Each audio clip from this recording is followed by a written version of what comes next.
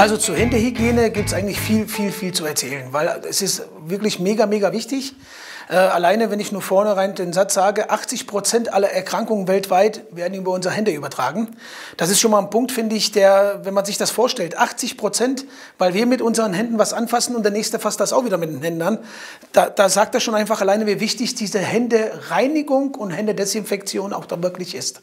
Klar, bei einem Gymnasium oder der Berufsschule erwarte ich schon von einem erwachsenen Menschen, dass sie schon wissen, was eine Händereinigung ist. In der Grundschule sollten einfach die Lehrer schon nochmal einfach auch mit den Kindern zusammen zum Handwaschbecken gehen und mit denen zusammen nochmal die Hände waschen. Und in der Kita natürlich erst recht.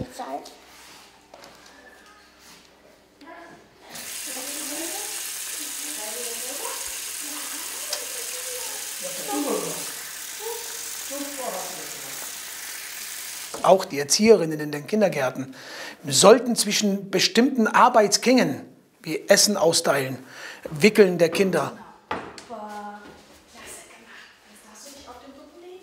danach, davor, immer eine Händereinigung und eine Händedesinfektion muss durchgeführt werden. Man sagt auch, man sollte auch mindestens 30 Sekunden für die Händereinigung und 30 Sekunden für die Händedesinfektion sollte man eigentlich äh, sich die Zeit für nehmen, was aber sehr, sehr schwierig ist, natürlich jeweils 30 Sekunden auch einzuhalten.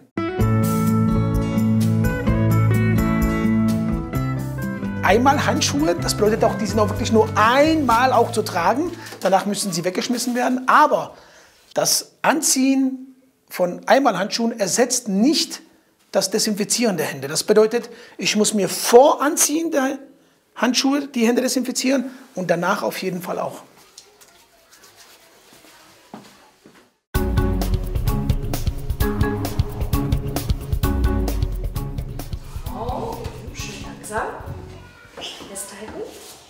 Wenn diese U3-Kinder sind, wo die Windeln täglich gewechselt werden, muss eine Händereinigung und danach eine Händedesinfektion durchgeführt werden. Dann die Einmalhandschuhe anziehen und nach Abziehen der Einmalhandschuhe auf jeden Fall ist wieder eine Händedesinfektion durchzuführen.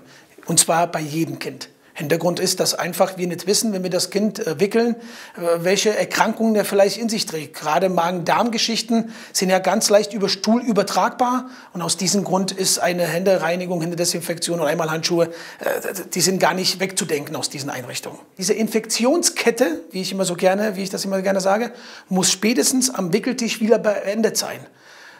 Habe ich keine Einmalhandschuhe, geht die Infektionskette zum Beispiel zur nächsten Türklinke.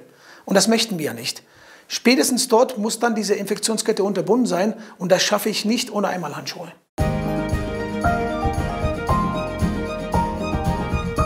Das Üben der, der Händehygiene, der, des Händewaschens, gerade bei den Kleinkindern in der Kita, finde ich äh, sehr, sehr wichtig, genauso wie das Zähneputzen. Da sollten die Erzieherinnen auf jeden Fall mit den Kindern so oft üben, wie es nur geht. Klar, zu Hause, auch wieder von den Eltern, sollte es natürlich auch ordentlich durchgeführt werden und immer wieder angesprochen werden, nach dem Toilettengang, nach dem Essen, vor dem Essen, nach dem Einkaufen.